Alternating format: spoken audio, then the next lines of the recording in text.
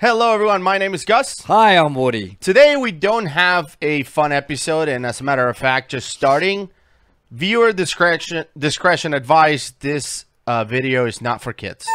So I know that a lot of you like to watch this with your kids. Please skip this one. Um, the subject that we're talking about is something that has been requested many times, which is the incident and death surrounding Audrey Mestre, who was basically trying to set the record for no limit freediving. Um, and there is a whole documentary about this. It's 50 minutes long. We're not going to react to the whole thing. The link is below if you want to watch that without our commentary, of course. But uh, we are reacting to a subset of that documentary that shows the incident, and um, we want you guys to hear our reaction.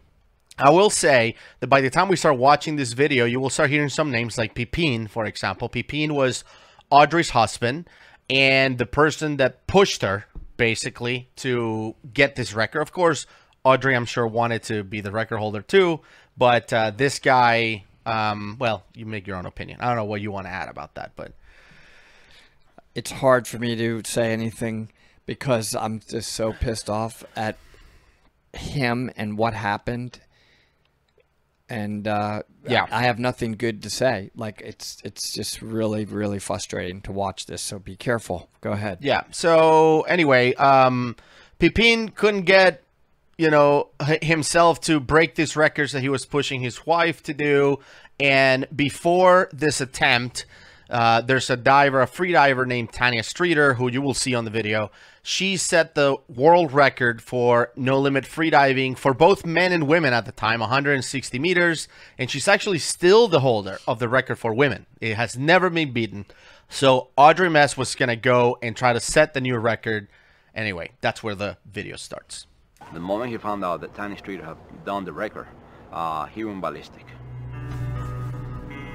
For Pipin, he had possession over Audrey and Audrey's records, so he felt that what Tanya Streeter did more than against Audrey, it was against him. She looks like scared of him, I s- doesn't she? If I'm honest, I think the reason that Pipin pushed Audrey was because Pipin couldn't do it himself. And I know that's really inflammatory, and um, I hope he doesn't know where I live, but I truly believe that.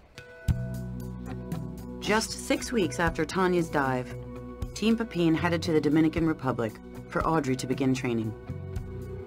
The whole reason for us to be in Dominican Republic in October instead of December as we had planned before, it was Tanya Streeter. Tanya had made it to 160 meters. For Audrey to break the record, she would only have to dive 161 meters. Pipin want his wife, Audrey, to kick her ass really, really hard and trying to beat the men's record as Tanya did. She don't make decision on that kind of stuff. He told her do it, she do it. But two key missing members of the team were Nick Buckley and Guido Blas. Specifically, I asked her three times. I said, are you guys going to do anything this year? Oh, no, no, we're going to stay low. We have no sponsorship. Um, nothing's going to happen. And uh, uh, I made different plans. Also not on the team was deepwater safety diver Cedric DeRolis, who had died the previous year in a cave diving accident. Cedric had died, so they lost the 130 meter support diver. Hmm. Now they had a big gap hmm. in the water column. Kim McCoy provided the computers that would validate the depth. Pipin just kept pushing her to go deeper and deeper and deeper every single time. When she was able to do a depth that would exceed any record ever done before by anyone, then I felt relief. I said, well, okay, we have enough now. More than enough. By a few meters. 170 meters, that was on Wednesday, October 9th. Wow. After the dive, 10 meters deeper than of Tanya. happy, she was quite depressed. I noticed there was a bruise in uh, one of uh, Audrey's eyes. Uh, was uh, a light bruise right there. Where the bruise came from, I have no idea. But I noticed actually that she was not feeling good at all. Wow. The rumors were flying thick and fast. There was a rumor that Audrey had discovered she was pregnant. She probably wanted to get divorced with Pipin after the record. That was the rumor in DR. Hmm. There was a lot of loud and angry discussions with her husband Pipin. There was a lot of friction between him, Pipin, and Audrey. It was not really a good day before the dive day. That's so hard to watch, you know. It is, but The day of the dive, that morning, it was very stormy. So the countdown was stopped. Everybody was there for the record, so Pipin said, no, I'm going for it. It cleared up rather quickly. The countdown resumed, and a big crowd gathered on the beach where Audrey was to board a launch and be taken out to the dive site. Audrey was just very withdrawn. Obviously, something was just not right. Her mood was bizarre. She was cut off as if in a soundproof, clear booth that moved with her. She stood at the edge of the water and stared into the ocean. Hmm, strange.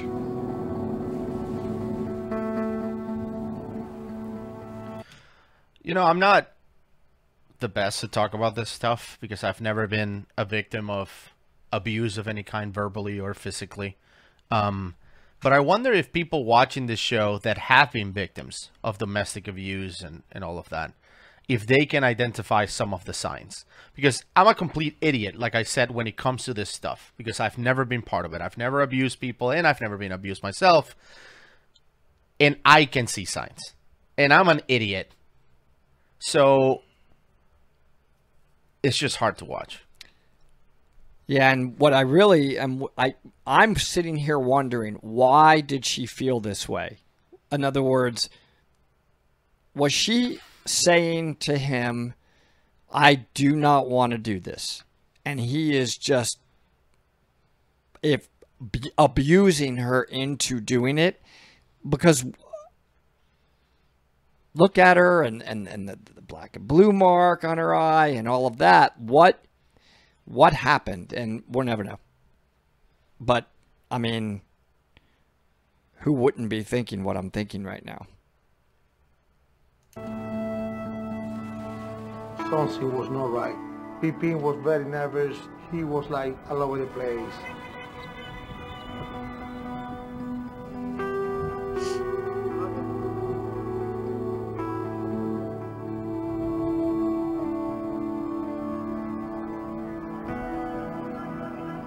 Mean, does that look like that somebody that's pumped up about it? It, was it was doing... troubling. There there was a lot going on that wasn't. It didn't feel quite right.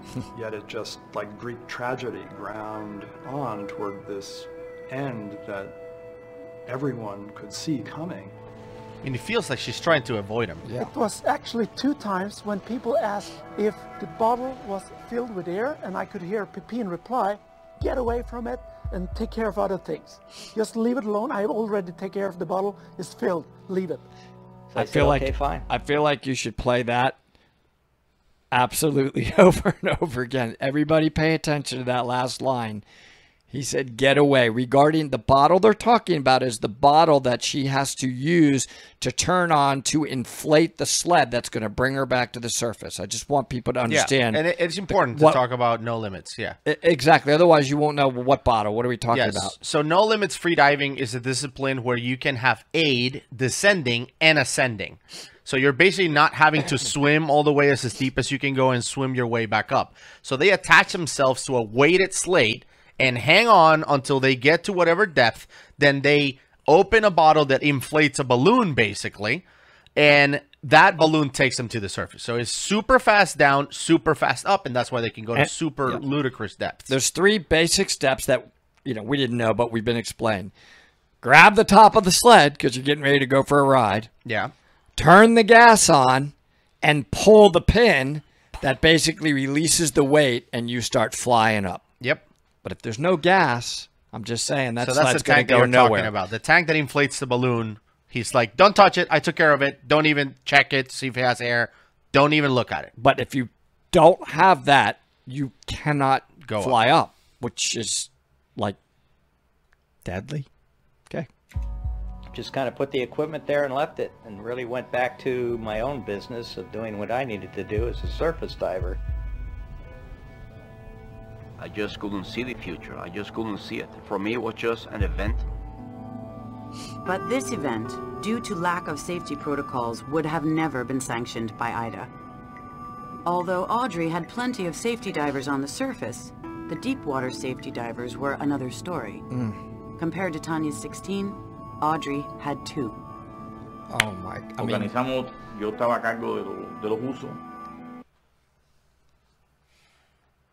Do you think Tanya would have done the dive without any of those safety divers, let alone 16? I mean, let alone two. With 15, would she have done the dive? With 14, would so just, just let's keep going. Well, That's but just, to illustrate, just to illustrate the the insanity of that, she's going down to 170 feet, right? Meters. 170 meters. That's true, which is over 500 feet. Okay, and during that space, whether you look at it in meters or feet, I don't care. To have only two divers watching the whole space. and nobody at the 130 meter level. I mean, so there would be a long time, a long gap as you're going up where you're totally alone. I mean, it's just, it's just, it's really crazy. I keep watching this and I'm just, Let's go. I mean, you don't want to use the word murder, but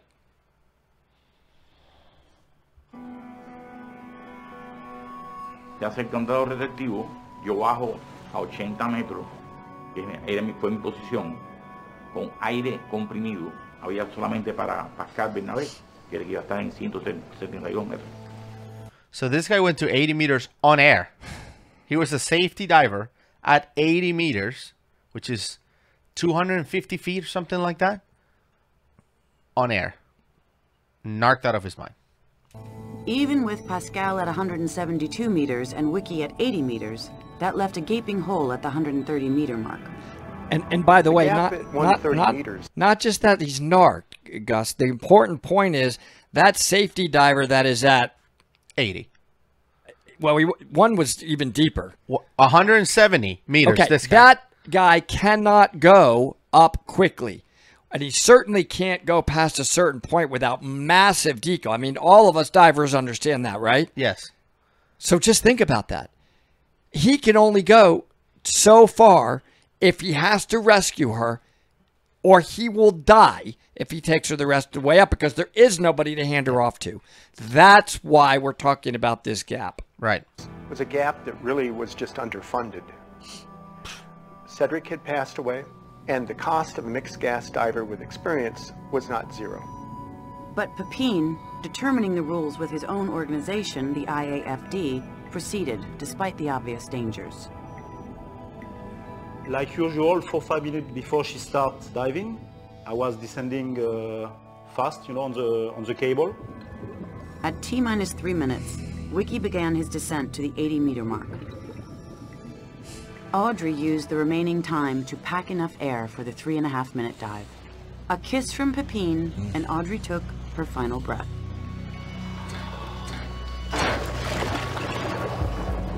Mm. I was keeping pretty careful track of the time, as I always do. I suppose I was 20 meters from the dive boat in a little skiff. I'm holding the line, and Pipin was doing the same also from the water, because we get to feel the vibration coming from the sled, just going under and brushing against the cable. So we have a way to determine more or less what's going on.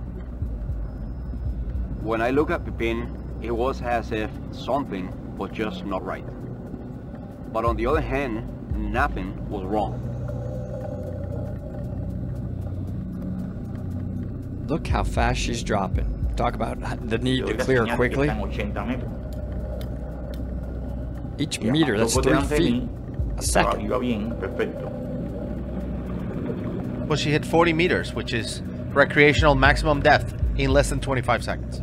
Flying. I had the feeling something was not right before she hit the bottom. It takes decades of experience, but if you look at a line, you can see how it's oscillating in the water column. This can be caused by current, but it also be caused by the tension on the line and the fluctuating tension on the line. And it just didn't look quite right.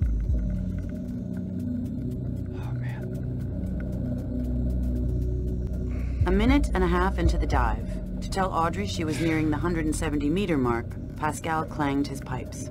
I saw Audrey arriving like usual, you know, fast. At 1 minute and 42 seconds, Audrey's sled reached the bottom of the line. And then uh, the first bad surprise when she finished to open this tank, which was uh, supposed to, to fill the lead bag, uh, nothing happened. So I took one of my uh, regulators and uh, I inflate with my uh, own gas. Then she starts to, to ascend. But, Audrey's rate of ascent was far too slow. Exactly. Had there been a safety diver at 130 meters, they would have seen that Audrey was still struggling. But the next closest diver was Wiki, 90 meters above. I'm in. A 300 foot gap. Pasaron 30, 40, 50, un minuto y ella no salía. Y no salía. He can't inflate that Pascal lift bag. Vanderbeek was at 170 fast meters on a enough. trimix. He could not rise very fast. He mm-hmm. did rise faster than he should have because he realized too that something had gone awry. He last saw Audrey at about 165 meters, 162 meters. Mm, three we minutes count in. the, the time. After three minutes, she's supposed to be back between 3 to 3.15, 3.20 minutes. And then you don't see the sled moving. When she's coming back, you see the cables moving fast. So she's flying back out. And then, you know, you don't see the divers doing anything in the top.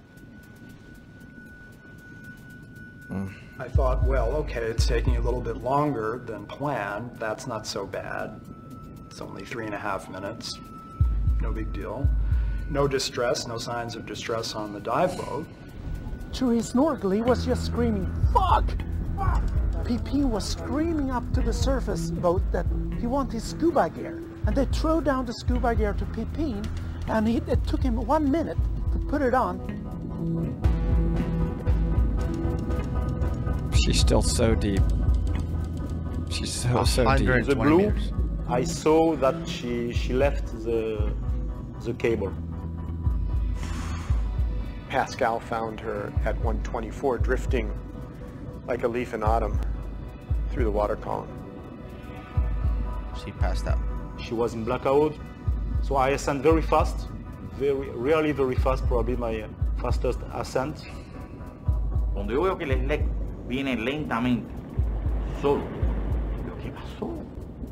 That's from the little bit of air he put in. The moment the people at surface knew something was terribly awry was when the lift bag came to the surface and there was no Audrey. And of course, at that point, my heart probably was beating probably three times faster than normal because I knew that something had happened to her already at that point.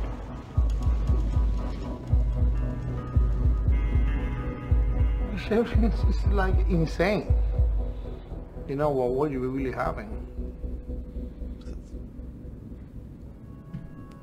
Like, what can you say?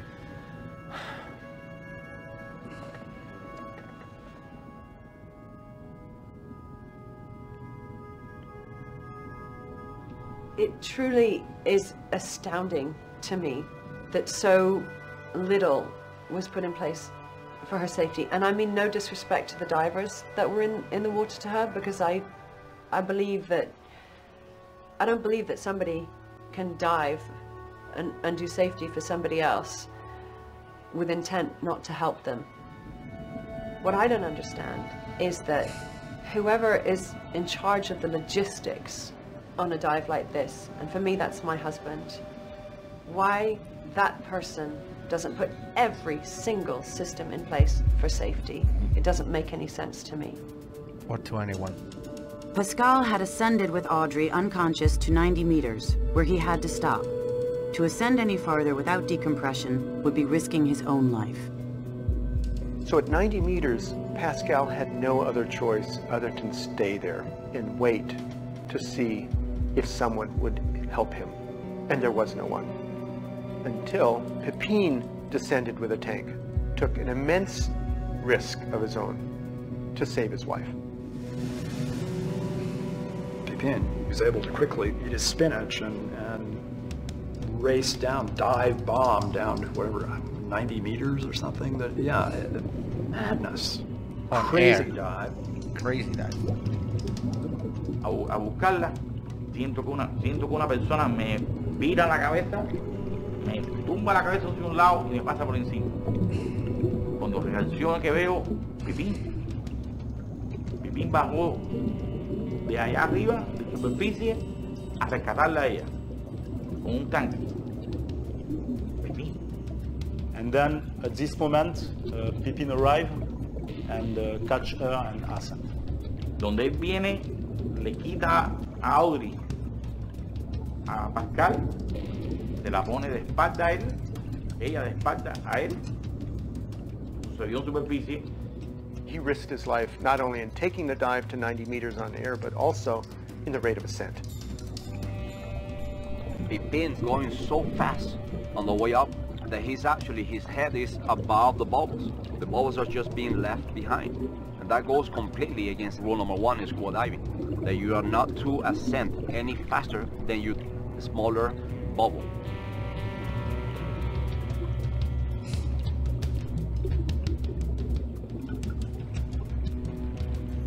Pascal, ahí tuvimos, tuve dos horas.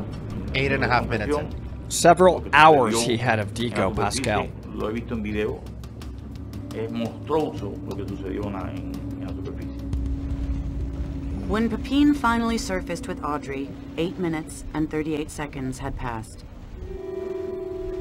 When they popped up out of the water, I was taken aback. She was supine in the water. A lot of pink foam was coming out of her, her mouth. Over another minute passed as Pipin frantically tried to resuscitate Audrey in the water. Horrible technique, by the way. This guy doesn't know what he's doing. to be going in slow motion, and I w- remember thinking, "Good heavens, why, why are they moving so slowly?"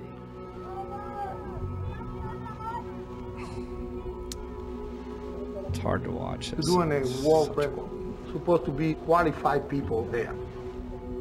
Look When at she get out of the water, it's supposed to be a real doctor there.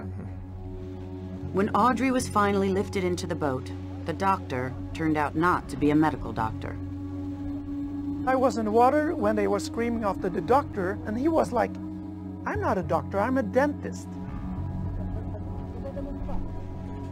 She certainly did have a pulse. I saw it with my own eyes. She needed at least a recompression chamber or a medical doctor skilled in hyperbaric medicine. There were none. After 8 minutes, 38 seconds, you don't need a doctor, you need a miracle.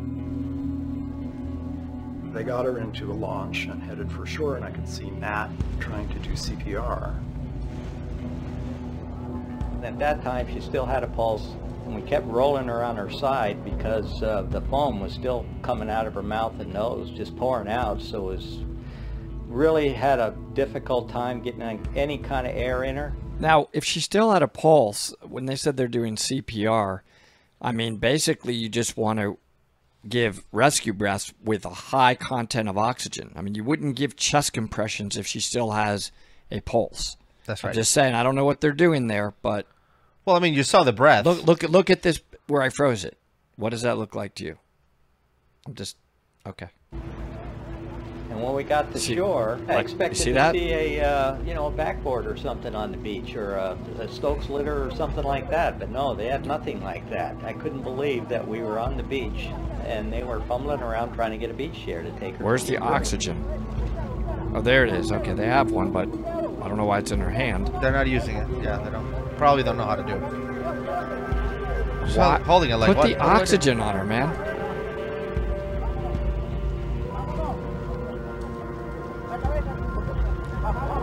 Think it even has a manual trigger it was valve. pretty chaotic as far as getting her from that boat to the infirmary. Disaster. And it was a long trek because it was up the beach through the. I remember we went through some walkways. I didn't even know where it was. When we got there, they were painting in the infirmary. The whole thing was crazy. Everything was wrong from the beginning to the end. I mean, it's like the girl don't have a little brain to survive that day. It took more than 30 minutes to get Audrey to the nearest hospital, where shortly after arrival, she was pronounced dead.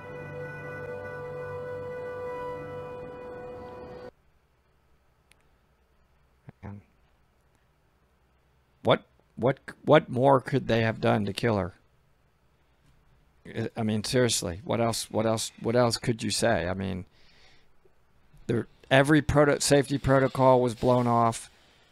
It sure doesn't look like CPR was done properly since she had a pulse. The time it took, no safety diver in the water. The time it took to get her out of the water, no doctor on the boat, a dentist.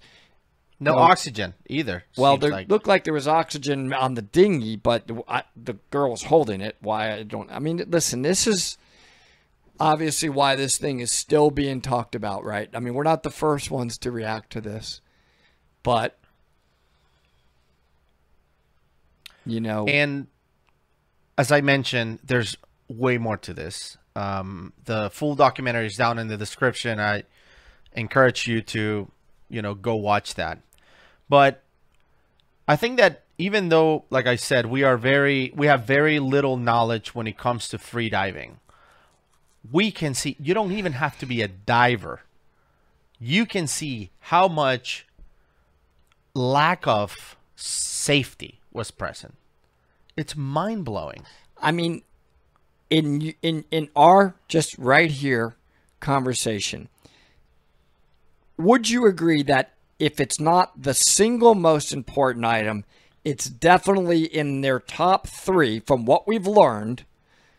The damn tank having air in it that's going to bring you back to the surface is that and is that maybe the single most important piece of equipment for this sport? Absolutely. I mean, I, I don't know what else is more important than the thing that's going to bring you up. I, seriously, right? Yeah. So just think about that. That singular, single most important equipment. And you saw the video where he's like, get away, get away. I got that. I got that. The single most important Don't thing check it. is sort of being kind of brushed off. Uh, there's nothing more important. Well, I mean, we could boil it, analyze it, but if that had air in it, would she be dead? I'm, I'm, these are questions. If that had air in it, she turns it on, she held up, pulls the pin, would she be dead right now? So I'll That's a really, really good question, and I think that we're not. Even though I feel like we can we can answer that question, most people would agree with our answer. I think that there's even someone better to answer this question. So what we did is, you know, one person that you saw on the documentary a couple times, the person who set the record that Audrey was trying to break, Tanya Streeter, she actually lives in Texas, and we reached out to her because we wanted to talk to her about this, and we thought that you would also enjoy the conversation with her, and we just want to bring her on the show and ask her these questions. If anyone can answer, if that one piece of equipment functioning correctly meant that Audrey would still be alive, or at least she would have survived this incident, if anyone can answer that, it would be Tanya. So let's bring her on the show.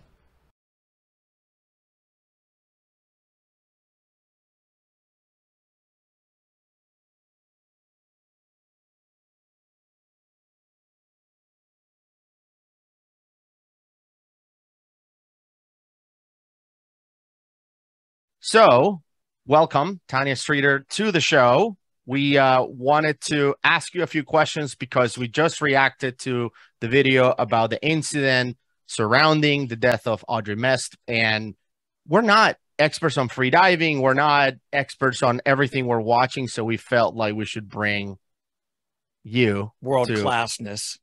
world, that's right, world classness, uh, to answer some questions. Is that a word? Yeah. Um, It's but now. It is now. Before we get started, can you talk a little bit about yourself and you know, kind of what you used to do because you're no longer freediving, but what you at least competitively, but what you used to do and where are you now and your projects and all of that? Yeah, so um, I started freediving uh, probably all, all but from birth, but not with the knowledge that that was uh, what, what I was doing. Um, consciously freediving, knowing that it was actually a sport in late 97, and uh, went on to start competing and breaking records in, I think, uh, my first record was the American constant weight, and I want to say that was January 98. Hmm. And then my first No Limits, which was my first world record, uh, was then in May 98. And then I just went on and on and on and on and on. And then in 2002, found myself challenging the world No Limits record for both men and women. Uh, my background, born and raised in the Cayman Islands, didn't have anything to do but be in the ocean. So that's my, my passion my comfort zone. Um, and so freediving, you know, just just turned into something something cool that I was decent at at a time in my life that I enjoyed the self discovery of it, that journey that you go on. Um, and that was what my obsession was. It was not the records or the competition or anything like that, but it's where you find yourself when you turn out to be pretty good at, at that stuff. Um, and then now, yes, I, I, had that long freediving career, or I mean, really was only about a decade actually. Um, and then transitioned around about 2004, began transitioning into film, um, presenting uh, wildlife and freediving documentaries with BBC and um, other, you know, films sort of about freediving, focusing on my world records and things like that. Um, and it all kind of fell into place for me when I got involved with uh, what was then the Plastic Oceans Foundation, now Ocean Generation. And we uh, worked on a film called A Plastic Ocean, which is still on Netflix, doing great things. Um, and it sort of answered the question that I always had for me, which was like, why do I have this talent? Like, what's it good for? Holding your breath is not, you know, everybody says, oh, it's so great. and, you know, you, you, you must be superhuman and all these things. And my standard response was like, I didn't find a cure for cancer or anything. I just have fun doing this and that's that. So, but I, I really did wrestle with that. I, I wrestled with it before the No Limits world record, which then only added to things for me to wrestle with. Um, and um, you know that at least helped with that. It, it gave me an answer. Up until then i had involved myself with different ngos and environmental charities and organizations. Um, but it was all a bit surface level. You know i didn't like taking a picture and signing something and that being i want to get my hands dirty. I wanted to learn. I wanted to grow.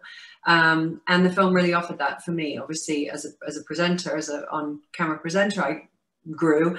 Um, and then I'm, my knowledge of the issue of plastic pollution just grew exponentially with every shoot. I'd come back and change something in this house about the way that we cook or eat or, you know, uh, awesome. dispose of things and shop, everything. So it was hugely impactful and really made me feel like all that work. Um, I think being a professional athlete is by inherently selfish. And then when it's something like freediving and extreme sport that people don't understand, or you know, basically terrifying for people that love you to watch you go do, um, you know, it, it, felt like it, it made it worth it. Um, putting everybody through that and, and myself through all of it. I want to get more into the actual dive that you did where you set the record. And that will tie into lots of questions I have about Audrey's dive. So when you entered the water, you you had a complete safety team in place, right? What in your mind did you require as the athlete to do that dive in terms of the safety protocols that had to be in place for you before forget even talking about the dive yet before you got in the water you had a conversation with somebody and said, This is what has to happen. Can you describe that? Um, yeah, I mean, the AIDA rules are very clear, and I followed the rules. I mean, it's it's basically as simple as that. If I, if you want me to break it down, uh, briefly, to, briefly, not like the whole. Yeah, I mean, and also rules have changed. I mean, the big thing about all this now is that No Limits is no longer sanctioned by AIDA. So CMAS sanctions it, and if you want to whip up your own freediving organization and sanction it, turns out you can do that too. So, um, but AIDA, which is the organization that I value and respect and have been involved in, um, who I believe have the strictest, and safest rules, and certainly did at that time. Um, those are the rules that we followed. They required divers within certain distance of each other um, and in pairs and you know, we were kind of writing the rules as we went then, just purely because people weren't diving that deep and we're pushing the limits of mixed gas diving at those depths. Um, my deepest diver I believe his plan was to not descend below 500 feet. And I mean, he did, as you can see in the film, very briefly, in case he had to assist me. Um, but you know, we were safety, safety, safety, safety, and we were absolutely also autonomy. Like anybody on the team could call a dive for any reason. And I called dives because I get in the water and be like, "What the hell is everybody so mad about? Why aren't you guys talking? What's going on? What's good? We're not diving. We're not having fun. Everybody out. We're out. I don't want to do this. Wow. No, not worth it. Um, we had situations where we jump in the water, and for me, I look down the rope one day and I see this like you know three meter, uh, four meter oceanic white tip shark banging up against rope. And I'm like, anybody else want to quit? Nobody else wants to go. I'm like, damn, you know, and I'm the only one that's dressed like a giant bait fish without all the bubbles going off. So, you know, we, we had a lot of that captain who, you know, you'd think a boat captain, he's the most important person on the boat. And in this situation, he sort of isn't. He's, you know, he's the captain. He's the reason we're out there. He keeps us safe. But once the diving starts, he sits down. And there was a day where we were diving in rough weather and the, the whole rig that was attached to the side of the boat was starting to crack the fiberglass. And he called in. He's like, you know what? Nope, this isn't safe. This thing breaks off. Everybody's gone. You're not getting her back. She's attached to everything. That's it. So, you know, we we took the AIDA rules and then we made them safer uh, because of the, the, the respect and the philosophy that we had as a team. Um, so that's all really that went into you know how did you decide what we put in place? And the other part is training. Uh, it's not just training for me it's training for all of the divers. You don't just mm. put a put a group of unknown people together and say all right everybody's going to their deepest they've ever done today and we're going to do a world record. There was six weeks of diving every other day everybody gradually getting deeper and deeper everybody getting habituated with all of the conditions gear, ocean conditions, uh, you know, free di- diving with free divers. Had, are they great divers? Yes. Have they ever done support for free divers? No. So, you know, we don't dick around with that at 500 feet. You know, we do that at like 200 feet and that's where we start. So, um, you, that that basically in a nutshell was the the philosophy as we as we approached that gently slowly respectfully safely now when you started that record dive on the documentary I, you had a moment right at the beginning, right, where you were gulping the air, packing, yeah, packing the air, and then can you explain number one what what you're doing, the gulping, the the packing of the air? What are you doing exactly when you're doing that? Like, what is it, and then what happened to cause you to kind of be out of it for a second, and then what happened to say, "I'm fine, let's continue." Right. So it's yeah, pretty much as you see in the film, um, uh, or as you hear me discuss in the film. You, you take a deep breath and you have muscles to do that. You have your intercostal muscles, your rib muscles, you have your abdominal muscles, you have muscles in your back, you have muscles in your chest, you have muscles all in your thoracic area and stomach that will help you expand your rib cage, expand everything to allow your lungs to reach capacity, right? My muscles right now in the stomach area. Some more than others. um, and so, you know, once you've used all of those, then freedivers have developed a technique called packing where you basically suction more air volume and you're not swallowing it and putting it in your stomach. It looks a bit like that, but it isn't. It's going down your trachea into your lungs. And it's just a way of, sort of topping off your lungs. Um, once you've used all your muscular strength to do that. And I think at the time I could add just over a liter of lung capacity wow. just by doing that. So it's worth it. You know, you think about the depths you've got to go to and you've got to be able to clear your ears and all the rest of it. Um, the problem with that is that it creates a degree of intrathoracic pressure. So you think about your lungs have now right really taken up all the space in your in, in your your chest cavity and your heart's in there and it wants to beat boom boom boom, boom, boom, boom, and you're squeezing it and it can go boom, boom, boom, boom, boom, boom, boom, boom, boom, boom, boom. And it's just not very efficient. And if you do it too much, it will inhibit, it will prohibit oxygen from being sent to the brain because it's not pumping efficiently. This is this is all very clearly. I am not not a doctor. Um, a, a very right. lay explanation of it. Right. But um, so so then you don't get oxygenated blood to the brain, and there's a very transient loss of consciousness, very quick blackout, faint. The immediate thing that happens then is you exhale. You therefore release the pressure that's on your heart. It resumes beating properly. Boom boom, blood to the brain. You wake up. So on the film, and yes, in real life right before the record this is what i did I slumped forward very briefly. I think I knocked my nose clip off on the sled. I came around. I realized what had happened. I told my husband that I overpacked. I looked at the judge and said, Can I go? And again, as we all acknowledge under the rules, then there were no rules that said you couldn't go. So, um, so I took a, a, quick deep breath. I packed a couple times and, and left the surface. And um, yeah, so I, I, I did, I left in a stressed, not adequately prepared state uh, because the angel was saying, just try, you know, just give it a shot. Everybody else is in the water doing their best today. Why shouldn't you at least give it a shot?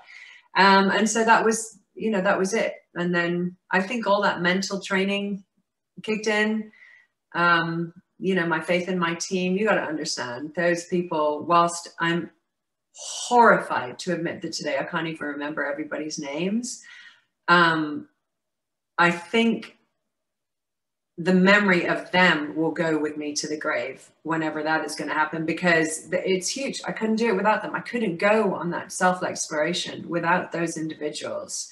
Um, and that was huge to me, regardless of the, you know, the world record at the end of it. So, um, you know, putting myself into that situation in that condition, not ideal, but it is because of them um, that I was at least able to get over myself and say, okay, not an ideal start. Don't know what that means, but I'm not going to decide right here and now that it means I can't do it. I'm going to keep going. I'm going to trust my body. I know I'm safe and I'm going to push possibly a little too hard. When okay. you were going down after that point, you're flying down. You're all, did you feel good the whole way down? Like, do no. you know in your mind, are you like, oh man, it's it's pain early that I don't normally have, or something like that, and you just mentally overcame? I love how fast that? she answered. No. I mean, tell me about um, that because we're going to get in. You've said some things that are going to tie directly into Audrey's dive, and I just yeah got to well, finish this line of questioning. Yeah, obviously not the first time I've been asked all these questions. so I know where we're headed with this. Um, I'll do my best to, you know, not deviate. So uh, yeah, immediately I left the surface and the angel is in my ear like, yeah, keep trying. And the devil's like, really? Seriously? You being, you know, having the snot kicked out of you at the surface with the waves, you just blacked out, you don't know, nobody's ever been to this depth. Well, I had in training a week before, but um, you know, this this is not a known place. This is uh, too many unknowns, whatever. And yeah, I mean, for the first normally, um, quite honestly, 100 meters or so, 330 feet, uh, equalization is not difficult. Um, upright, um, trained, I have, uh, you know, a decent lung capacity. Um, and instead of it starting to be difficult around 100 meters, it started to be difficult around 80 meters. And I, and I know this because of where divers are stationed and all the rest of it. And again, you become in tune to how it feels, the light, everything. Um, and when I got to 100 meters, I, I thought I was done because it was just could not equalize. And I'd had trouble equalizing during training. Certain times I'd had a sinus infection and stuff. But, you know, I was ready. I was good. Physically, I was, I was exhausted, but I was in good shape. Um, and and that was the point at which you know my mental training kicked in and i was just like well just try. You know every meter now you just try. You, everybody else trying their best just try. Everybody else is here just try. You know you you know as a free diver for almost every dive you ever do you're going to surface and everybody's going to go well done. I don't care that you didn't go where you said you're going to do. You went so much further than me. Well done.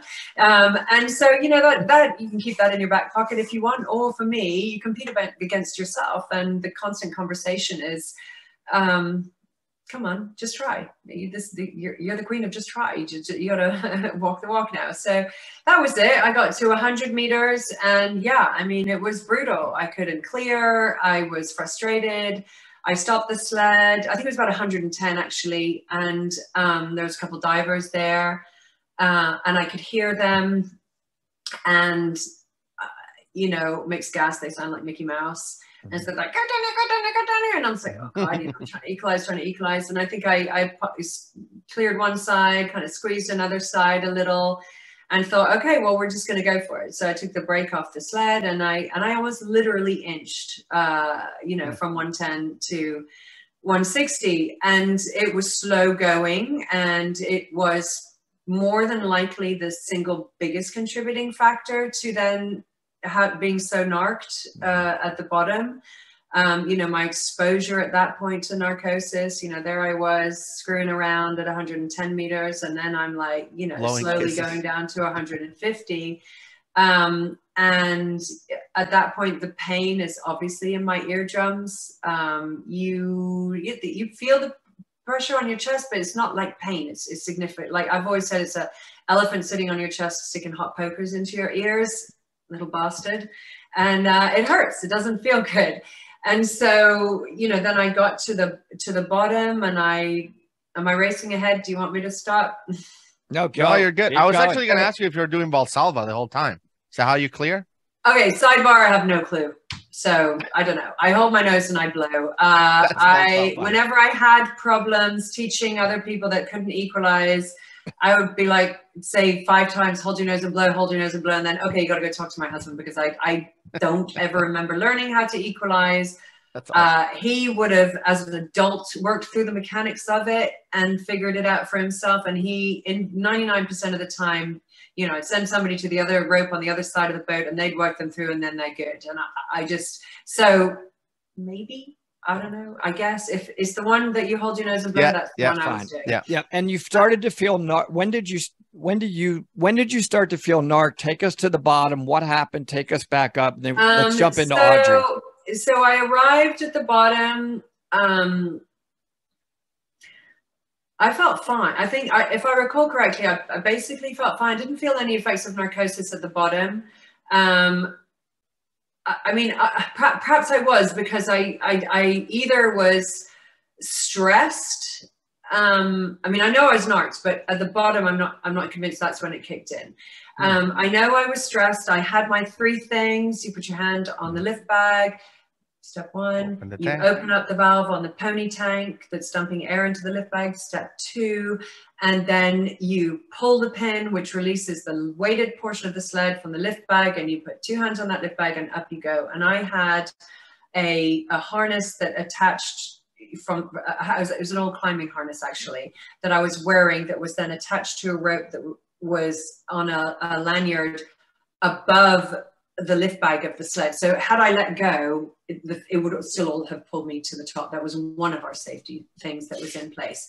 I mean, it was the first time that lanyards had been used in any way, shape, or form in freediving, and it was to me, it was, to me and Paul, my husband, is kind of a no-brainer. So, uh, so, so so you know one two pull the pin three now under the maybe the early part of narcosis or me i got to the bottom and i was like good lord i'm finally here i always knew i wanted to take a moment to look around me i already knew at that point that i wasn't going to do that again um, you have to understand my relationship with the sea i mean i'm not going to discount anybody else's relationship to the sea, but it's very strong for me. It is it is all the things to me in my life that I've ever needed at exactly the right time. And right here, right now, it was affording me the opportunity um, to explore myself in a way that you know nobody else sees. You're the only one down there. You're you're so so incredibly alone within yourself that it's it's really powerful. And it was something that I sought. It was what I needed. Um, and so I knew I wanted to to take a moment. I had a conversation with the sea every time I'd go out on a training dive.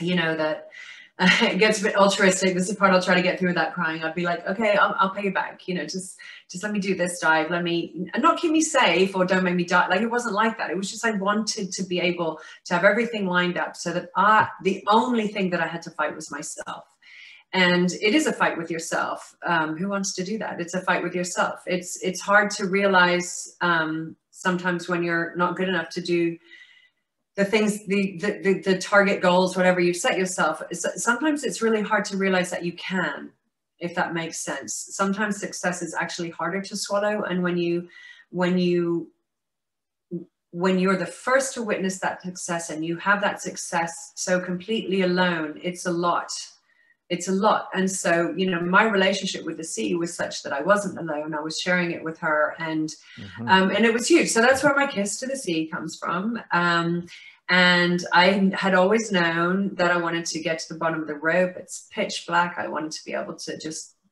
close my eyes and look inward open my eyes and look outward and say thank you to the sea and then go on back up again. So probably at that point, the narcosis was settling in because I, I, I confused my, you know, my one, my two, my three with my one, my two, my three. And then I put my, you know, after blowing the kids, put my hands on the lift bar bag and I'm like, what's happening? Why is this not going? Yeah. This, I'm not moving what's going on. And something. And years and years before, years before, when I have been training for my first world record, um, I had actually been using um, Pipin's sled way back then, and it had, in training, it would get sticky, um, like almost like the aluminum would aluminum would would stick, and you'd have to just kind of wiggle it. It was, like the, Hmm. the connection between the the lift bag part and the and the weighted part was like too tight, and so you'd have to kind of wiggle it. And there there had been an occasion before where you know I had just kind of jiggered it and and it, it had gone up. Um, and so I think the first thing I did was kind of wiggle the lift bag. And then you see me pull my fins out of the fin bin, like I'm going to kick 90 pounds up to the surface. And I, you know, I try to, I, I try to do that. And I can hear um, my safety diver, John Garvin, coming down behind me, you know, and I, I can hear him talking to me. And I know full well that he's getting the independent lift bag out um, that he would, atta- would have attached to my harness um, to you know to, to then send me out. He has that. Every diver had one for them to encounter me, or he would have given given a signal, and they would have everybody would have had a like a it's a climbing a piece of climbing equipment that would have gripped to the line and pulled the line, the ballast, the Right. The everything. carabiner or Oh, something. Yeah. Yeah, like I forget the name of it. Gregory a or something like grip And yeah, uh, it's for belaying, I think. So, um, you know, oh, I, I was well aware that things weren't going right.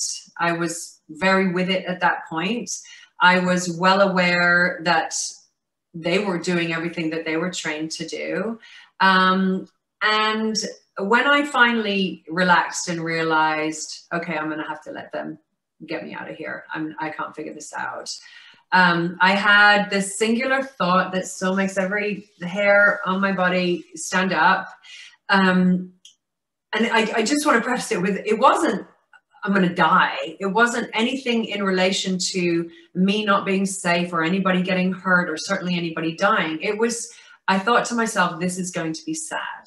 Um, and what I meant was, I'm going to get back to the surface, everybody's going to be disappointed um, everybody's gonna be sad. You know, my mom is up there, uh, my my my husband's up there. He's worked so hard. All these people that come out and support me, they're just gonna be sad, right? And it was like, this is gonna be sad. And a door slammed in my face, and it was enough to wake me up and just like pull the pin. Mm. And so, and then that was it. And I'd dumped so much air in the lift bag by then that it started to race. And then I got knocked out of my head. And I think Mm. it was by then, yeah, I spent an extra, what I think two minutes of descent, um, 17 seconds at the bottom, um, stressed. Um, I mean, not, you know, not like freaking out stressed, but a bad start, anxiety, um, and exposure to the narc- narcosis or the nitrogen for the narcosis. And that's when everything started to close in. I, ju- I relaxed. so I was like, okay, I'm on my way back. And I'm holding onto the lift bag and my vision started to go, Mm. my hearing, you know, tunnel vision, losing my hearing. And I knew what was happening I, I, because I'd experienced narcosis before on much shallower dives, inverted in colder water. Um, and so I knew what was happening. And so I gripped really hard with my hands so that I wouldn't let go of the lift bag. And I bit down on my tongue on purpose, really, really hard because my whole Wow. body was going numb. Everything was going numb. I was losing my hands, I was losing my legs. And so I bit down on my tongue really hard so that I, would- I was trying to stay awake, um, so that I could feel something.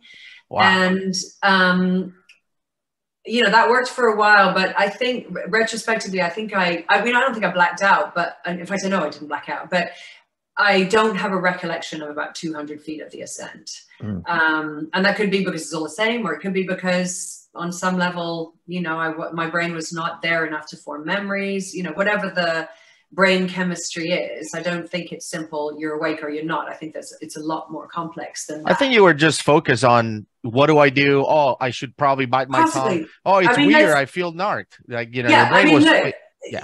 there, there's times where you drive home and you have no recollection of the last 10 miles because Right. it's so habitual. So I don't, I don't, I, I do know that I did those things thinking to myself, I'm gonna pass out. And I, you know, the, it's just overwhelming. You know, that you're losing your hearing, you're losing your vision, your body's going numb, like, what's happening?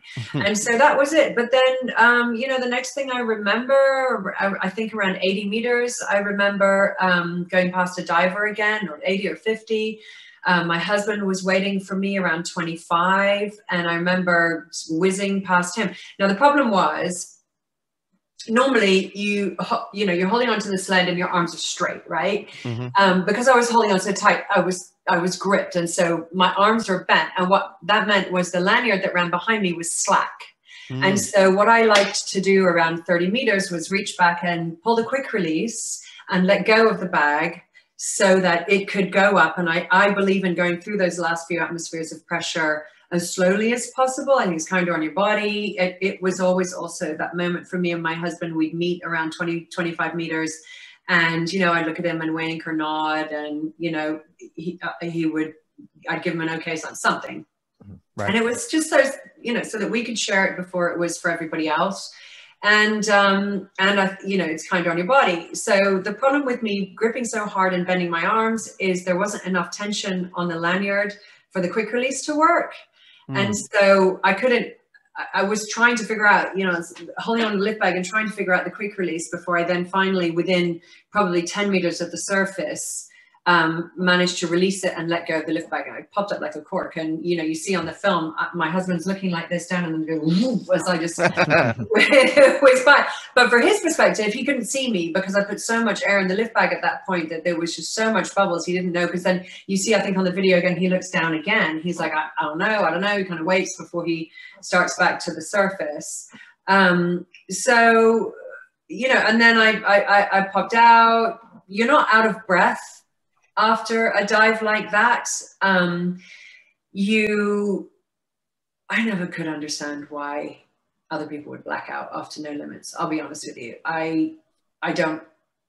There's, there's, to my mind, the way that I dive, there's no physiological reason to black out. You're not hypoxic. You've got a whole ton of oxygen in your system. If anything, my dives were slower than, well, I, you know, I'm referring to Pipin.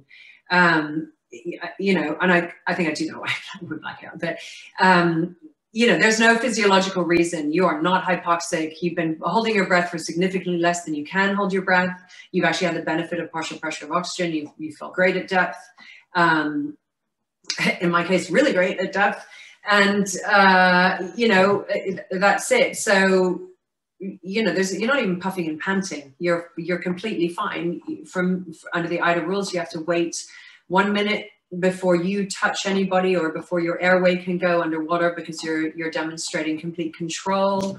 Um, and, you know, that nobody's holding you up and that you're not sinking because you're having a loss of motor control or, or, or blacking out.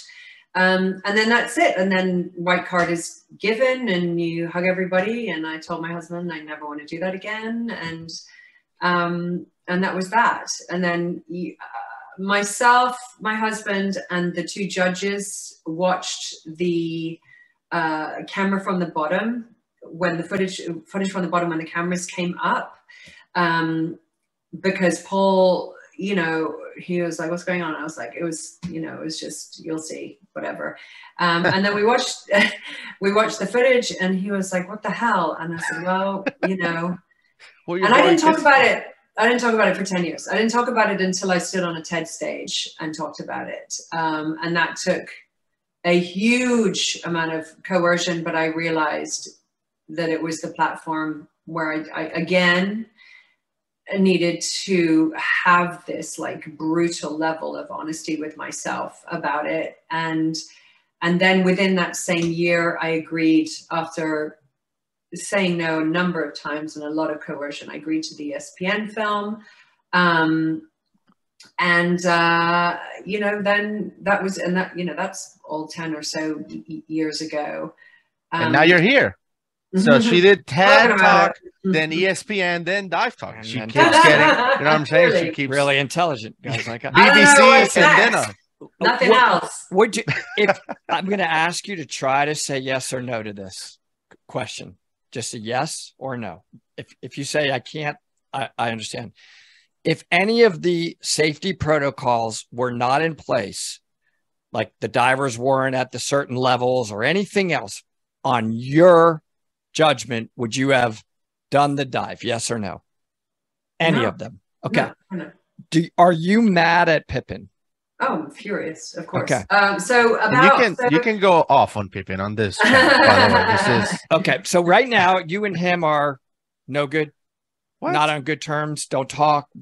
Oh, we never. I mean, it, we go so we go so far back. It's ridiculous. But I mean, look. Here's what happened. Um, at that time, they were blogging their training, and you know, we were all following everybody's blogging and training and all that stuff. And they announced. I was. I remember I was still in Turks and Caicos, and or maybe I wasn't. Maybe I had left because we left two or three days afterwards. But anyway, it. um, clearly my mom had left or, or I'd come back and my mom was somewhere else. Um, because I spoke to my mom on the phone after reading it, uh, uh, what that their plans were. Now they're going to bring the record forward. Uh, they're going to take away training dives and they're going to make her go deeper. I didn't know about the the the, the ridiculously uh, insufficient level of safety divers. I just knew make her go deeper, give her less training dives, and I was extraordinarily upset about it. And I told my mom, he's going to kill her. He's going to kill her. Hmm. Um, and I, I had no idea that this was any kind of an epiphany or, Wow. or anything, but it was just, I knew him and I knew enough about their relationship um, without, you know, going into that too much. Um, I knew enough about what it was to be on the other end of a man like that um, compared to somebody like my husband. You know, I had had enough experience in her shoes, uh, combined with a simple passion for the ocean, um, but stuck in a relationship uh, that was abusive and hard Toxic. to get out of. Abusive. Um, Yeah. You know, I've been there. And so I was scared for her. Um, I was hugely scared for her. So would I, if if we didn't have that safety, no, none, nothing, any any single piece of it, any single piece of it wasn't there, I wouldn't have dived. Nobody on that team, least of all my husband, would have let me dive. So that Yeah. was an easy question. so let me uh let, let's let's talk about this because you mentioned something earlier and and you said kind of an offhand comment like unless you start your own freediving agency then you can do what you want because that's exactly what this and I'm gonna, I'm gonna try not to insult him in the in the show like in this part of the show because I already kind of messed that up but um this guy just went and created his own agency why like why if there's already an accepted international agency with safety standards why go and make your own like that makes no sense Well, I mean, it's he didn't like the rules. I mean, our rules are clear. You're not supposed to take a breath at any point on your descent, which is what he was well known to have been doing when he was diving. Um, and you're not supposed to black out and and and then say, "Eh, got the record. I'm alive now." Um, you're and and then you know you got to spend a shit ton of money on safety. And you know, we we had all those safety divers. We'd flown them from all corners of the earth. Um, some of them didn't need paying, some of them did. I had incredible sponsors from at that point Club Med um, to put all of these people up. Um, I, I had I chose a location with a hyperbaric chamber that was actually functioning and ready to take people. We had rescue boats. We I had a helicopter on standby. We had all the safety stuff, and then you know what we did? We added more safety stuff, which wasn't Right. under the rules. So if you don't like that, or you need to rush it through, or you don't want to make the money, or you can't find divers, quite frankly, who are prepared to risk their life for you anymore to do safety, uh, then you make up your own organization that says you don't need any of that stuff, and um, you attempt to set world records, and it's Russian roulette. And that's without attempting possibly to kill your wife. So, do you blame yourself in T- today, not when we watched the documentary and you did that interview, but now at all for anything that happened to her? Do you still feel some sense of guilt, if you will, or blame or Those anything? are two very different questions. Do I blame myself? No. I'm a grown Okay. up. I'm 50 years old. My ego is not so big to think that that's what Good. caused her to die. Okay. How about do the second I one? do I do I feel okay? Here's the deal. I, I said early on whether we're recording or not that I still find I'm I'm still trying to reconcile being a part of somebody else's journey that resulted so badly. And I mean, I, Audrey wasn't the only person that perished in the in, in the quest for the no limits world record. So this is a very hard part for me to swallow that I am part of a story that resulted in other people losing their lives. Yes. Do I feel responsible? No. Um, but is it hard for me to live with? Yes, it is. The, the, the, something that would go a long way uh, selfishly to me feeling better about this would be if you're interviewing a different record holder, somebody who actually, you know, would succeed in, in going deeper. Um, and, you know, uh, on paper, yes, the, the world record for the men is with Herbert. Uh, the world record for women is me. Unfortunately, you know, neither of those records are, are quote unquote clean from some kind of story because Audrey died. Um, Benjamin Franz had a terrible accident. Loic Leferme lost his life, all, all in the quest at that time to beat that number that I had put on paper as the world record. And then Loic surpassed it and then was trying to push it further. Um, you know, and then uh, Herbert with his incredible dive, um, you know, he did not come away unscathed. And that really, I think, was the icing on the cake for, I think, I hope I'm not unfair saying this, no disrespect, but I think that that was the icing on the cake for AIDA and sanctioning um, No Limits World Records. And I don't like that. I, I, I wish this was a happy story where people, you know, carried on uh, competing successfully and safely and all the rest of it. Um, maybe Herbert proved that physiologically speaking, um, this is the, the limit for human beings. I don't know. Um, I don't So know. Tanya, let's let's theorize here. Let's think about you know that incident and what happened to her, and let's talk about from the perspective of if she had a proper team like you did, and for some reason that you know the tank malfunction, whatever, the bag didn't inflate. What could have happened with a proper safety team? Number one, and let's talk about what could have been probably done differently with the team that she had. Like, because I always watching this, and I'm sure other people from Dive Talk that watch this thought the same thing, which is why didn't the diver just pass a regulator? Like, okay, record's over, whatever. Here's here's some gas. Let's go. Let's start. Well, if anybody was legitimately thinking that they need to go back and do their PADI open water one or whatever, because you can't, you you don't you don't do that. Even if you can, I mean, you- you're under 250 pounds per square inch of pressure. If you could physically inhale, which I Mm. so strongly suspect suspect you couldn't, um, at any at, at any depth, I mean, any depth below 50 meters, you probably could up until about 50 meters or so. But after that, but then you then two things happen. First of all, you got to stay with that diver. Secondly, you're jeopardizing that diver's life because now you're breathing the air that they need and they depend on.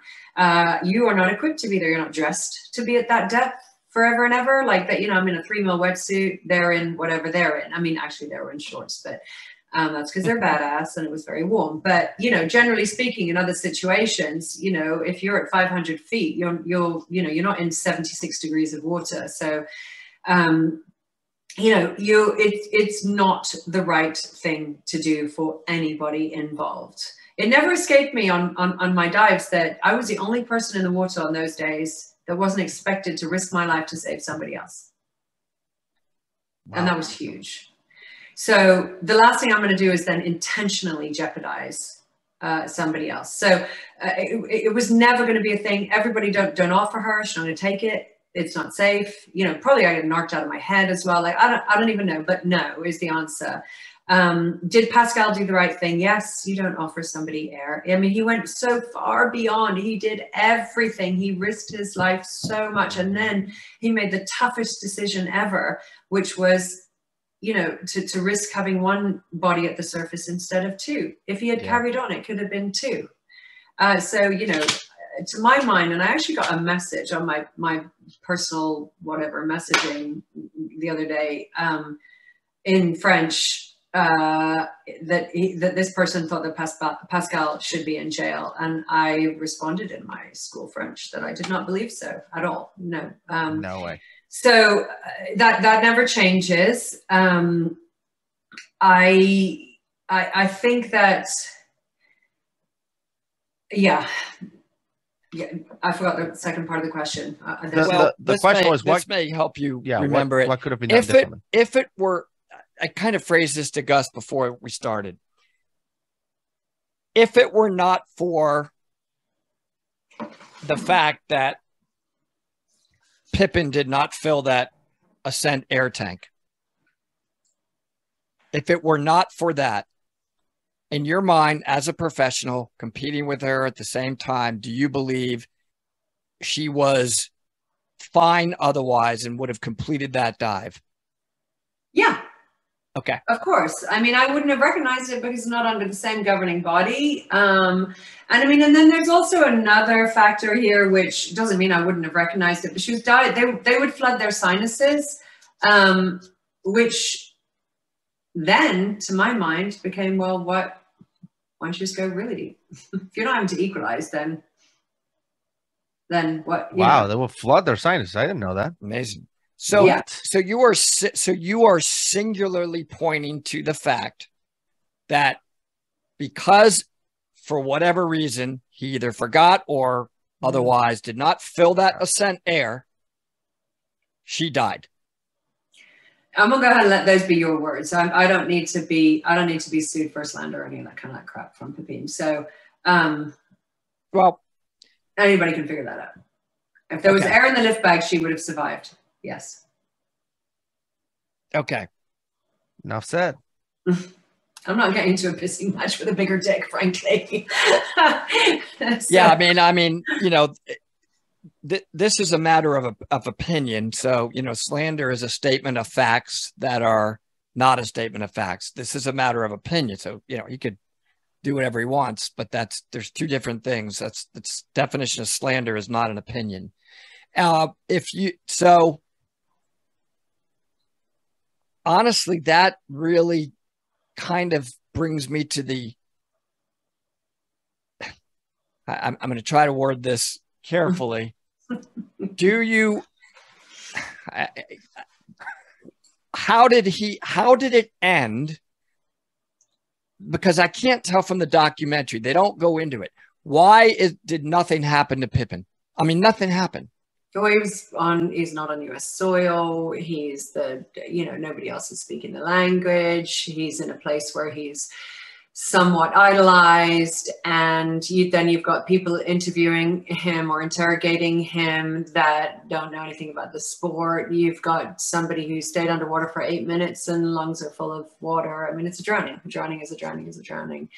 Um, I, I would like to think that if it had happened on U.S. soil, that it would have been investigated For more sure. thoroughly. Um, and I think all of those things were very intentional on Pipin's behalf. Wow. So yeah, because I mean, there's video evidence. Like this is the the the the I guess investigation should be like, let's watch the video. Okay, we got all the facts. Like it's not that hard. Everything is recorded. Well, yeah, but that last part that you just said, I'm I'm not going to be able to let that go because that's I know that you said that for a reason, and I'm really intuitive this way. What? All of those things were intentionally done in your mind by him, which just raises the question. Okay, uh, did he not fill that air tank knowing ahead of time he wasn't going to fill Well, that I air think the tank? question- is know, that I what you're Carlos- thinking by saying that? You know, uh, the, the Carlos Serra, I don't know, who, the, his team raised enough questions and know him way better. I mean, if you really want to get to the bottom of it, those are the people that you talk to. Yeah. Um, and you know, they were there, they knew him, they knew the team dynamics, they worked with him before, blah blah blah blah blah. You know, uh, um, Nick and I can't remember the that guy's name, and I feel so horrible that that. But if they said on the film, you know, if they were there, then this wouldn't have happened to her, and I believe so because those are two people that would have challenged Pipin. Um, and uh, you know, if my husband was sitting here, and he may walk in at any time, he would sit here and say, he would tell you that air tank it came into the room with us. It stayed in our hotel room. It then went with him. It then was topped up. It was checked.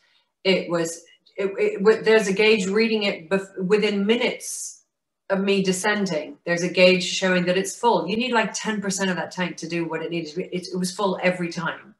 Okay. So, you know, uh, uh, did, did, was the tank empty? Of course it was. Yes. Were they, uh, the, yes, it was empty. We all know that. Was it negligence? It had a leak and nobody checked it. I guess that's what Pipin wants us all to believe. Well, uh, which, well, which then comes down to, well, that's your negligence. It's negligence. Negligence is negligence. You don't It's get still bad. Yeah, well, but with Pipin, I mean, do you know of any other time that he didn't practice the same protocols that you just mentioned? That the tank stays with him at all times. Oh well, I mean all- that's me and my husband. That's I have no I idea what he did with his tank. What I know is that it was empty. I, I don't know. I, I know, I know, I know. In this particular situation, you don't know what he did with it, but do you know how he normally operates in relation to the filling protocol of that tank? It's just a yes or no. No idea. No? Okay. Do I know that All he's reckless? Yes. Do Yeah. I know the details of his recklessness? No. Okay. And I think what Tanya is saying is that it doesn't matter if he had it in his room or an assistant had it or a donkey carried it. Who cares? The point mm-hmm. is, when he went in the water, he was in charge of making sure that thing was filled. Well, I'm he said asking- he was, and, and his other teammates say that, you know, don't touch it, don't touch it, don't touch it. So don't check it, don't touch it. Whether he's like, don't touch it, you might knock it and it might, you know, might empty, fine. But then ever just do the one last step, put a gauge on it, see if it has air in it. That's all you got to do. Yeah. Um, and if he's so adamant to not do that, then then why? And then when the result is what the result is, like, okay, then the question is raised: um, Was this intentional? Was it intentional to stage some heroic rescue? More than likely. Um, But you know, you know, Okay. Uh, do you know now? This this is really my final question, which is shocking. I know. Do you know? Do you know if there is a now singular body regulating sort of free diving that is is more singular now than it was back then? So Like, AIDA is- continues to to ratify all the other disciplines except for no limits, and CMAS, uh, which is the you know the oldest governing body of, of, of freediving and scuba diving, um, they regulate. Uh, as far as I know, they do still sanction no limits dives, and Wow. who knows what Pipin's organization is doing? So under AIDA, you'll be the record holder forever. They don't do it anymore. I guess. That's awesome. I- Thank you so much. I mean, really, I really appreciate it, and I think that you're frankly amazing, and not just because you set the record, but because you're you really for me it i could i can tell just how much you cared it's I not did, that and you mean, feel I- guilty but the fact that you are struggling with the fact that you were some that you were involved as just because you're a competitor it's just that you're a good human being I, I can tell it from just that. I don't care about anything else. Look. And that, that, that for me, I really, really respect you for that. I, I would be having the same struggle. Yeah, thank you. It is hard. It's hard to reconcile. It's not fun to be uh, part of a story where where anybody loses their life. Um, and you know, then for it to be this way, um, you know, all of my experiences with Pipin were at the very best disappointing. And then, you know, we went on to be on the same quote unquote team uh, because we were sponsored by the same dive manufacturer, um, dive equipment manufacturer, and I mean the antics and the stupidity were just ridiculous, and it was just stupid, stupid. It doesn't seem like there's a lot of people out there that like this guy. Uh, it doesn't matter. I mean, it doesn't matter to me. I, I, I don't, I don't care. Uh, I'm sure he doesn't care whether I like him or not. I mean, it's nothing. Um, I think, uh, um, I believe you know it's, it's it doesn't go away and that's hard when you're a part of history that is negative and it doesn't go away it's I, there's a new netflix film out which i consulted on nothing beyond that which is based on the you know the true story of audrey and Pipin and you know that just came out this past week and I'm sure that's why all of a sudden my inbox is Oh, a pinging. Um, well, well, you know, I've been I've been reaching out for months, so I'm not an opportunist. That's I cool. say thank you. You're a very patient and determined man. I tried really hard to politely for- decline in did. many, Awesome. many different ways. awesome that you tried. did it. You know, ego is in in every sport, and it it can make people c- absolutely believe and convince themselves of truths that are not reality. And I'll just Look, he- you're, I you're do believe kind. I believe Um, he does not believe in his in the reality of the situation. He's he doesn't in his brain register that because the ego is just way It doesn't- blocking. it doesn't, serve. You know, Yep. he's he's still trying to live a life and carve out a living, and I don't know, and frankly Yeah, don't care how that's Whatever. done as long as it doesn't impact me. Um, I hate all of it for Audrey. You know, there was a moment in time where we knew each other and where I respected her as an uh, you know a fellow athlete um, and I felt for her as a woman and it was really heartbreaking. All of it is heartbreaking. Don't forget that you know somebody lost their daughter people lost Yeah. their friend. Um, and and it's it's it's really a really really very tragic thing. And it, it didn't do good things for our sport. And on a personal level i really don't appreciate that. Somebody who worked has worked hard to help I, as best i can the image of the sport and you know the safety and the rules and the regulations it's real hard when some cowboy just comes in and you know screws it all up for everybody else. So um and you know i should apologize not just for being playing hard to get for so long but but also appearing cagey. Like these interviews are hard for me to do. These it, it, it's hard. Um feels like it you know i thought if i make an espn film people will stop asking me um and yet here, here we are it just sort of increases the fascination but i don't regret any of it i certainly don't regret being here uh, yet um Well, we'll see what happens when this thing drops. no, but Oh, now boy. you just hit the, the the peak, right? We talked about E ESPN, BBC, Here I am. us. Dive So, dog. yeah, just point them to Oh us. Oh yeah, we're yeah we're you know Well, definitely the peak. Yeah, I mean, that's what I'm saying. the peak of what? Well, never mind. um but yes thank you so much for for uh, speaking to us about this and uh again we would have done a disservice to not have you uh in this video to talk about this because we are complete idiots when it comes to free diving and all of that one you know a few of us more than others um and uh anyway we really appreciate you being here and uh we can't wait to see all the awesome stuff that you're working on uh, with conserv- conservation and, and the projects. Well, thank you. Yeah, well, check out the film on Netflix. It's a plastic ocean. Still pretty awesome. Still very Yes. topical. Something that as divers and lovers of the ocean, we should really uh, keep spreading the word on. You know, keep keep the the wave of change towards the issue of plastics growing because the planet needs our help. Definitely. Awesome. Man, so glad that we were able to have her on the show to answer those questions because uh, we don't, we're not at that level, right? She knows way more about this stuff. and she and I'm just grateful that she was willing to answer the questions.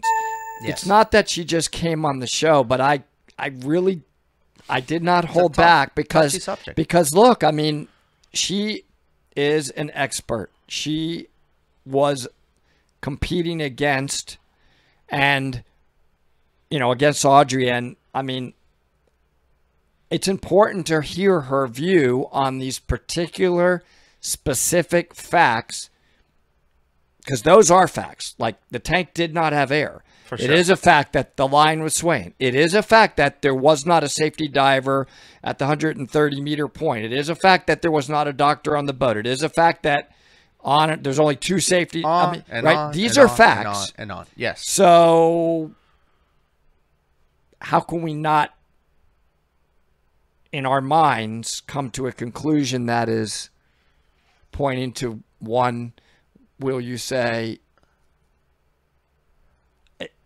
I mean, I, per, I would have loved to be in. Per- uh, uh, uh, who, ca- who caused the death is what Yeah. I, I'm ultimately w- thinking. And and what you learn during the documentary is that they questioned this guy Pipin for two hours and then they let him go. Yeah, no problem. Sorry, it was an accident. We feel bad for you. Have a good trip back home. Look at her right? before the dive. Black and blue eye, withdrawn. Just man, this is a bad situation. Right. And Right. apparently Tanya knew of their relationship. Like you're gonna hear you heard in the interview. I'm just saying, guys. Not to uh, quote my our friend Medi, but Medi has this phrase that I think this is the most appropriate person to ever use that phrase. But he, this guy has a very punchable face. Pipin. That's what Medi says. I love when he says that um, because I've never met anyone that has a more punchable face than this guy. And I would have loved to be in a fly on the wall during those two hours to see how this guy got out of it. Because if this had happened in the U.S., like there would have been an investigation of some and, and, a, and a short one because everything is on video. I mean, it looks so staged. Give me my scuba gear. Give me my scuba gear. Swimming down like that, and it, listen, I got this. I got this. I'm the guy. I'm, you know, you, you heard me in the interview. I mean, ego is so frigging dangerous when it comes to the things we do in the water, and it can create a sense of reality in your brain that is so far from reality. And you know, this this one's difficult, dude. This was this was a this was this was not the easiest one we've ever reacted to, and it just pisses me off, frankly. Yeah. Very, very dangerous sport. And we have covered other dangerous activities related to freediving, like the guy who created 14 rules for freediving in caves. Remember when we Yes. when we review those rules? Yeah. And I'm gonna leave that video right here. So you guys can check it out and see if you uh like those rules or what. Thanks, everybody. Bye. See you next time.